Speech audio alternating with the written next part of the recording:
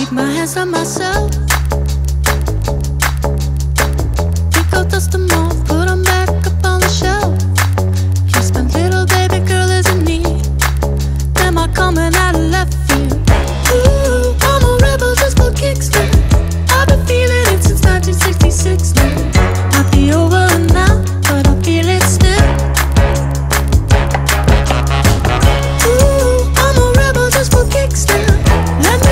like it's 1986 now.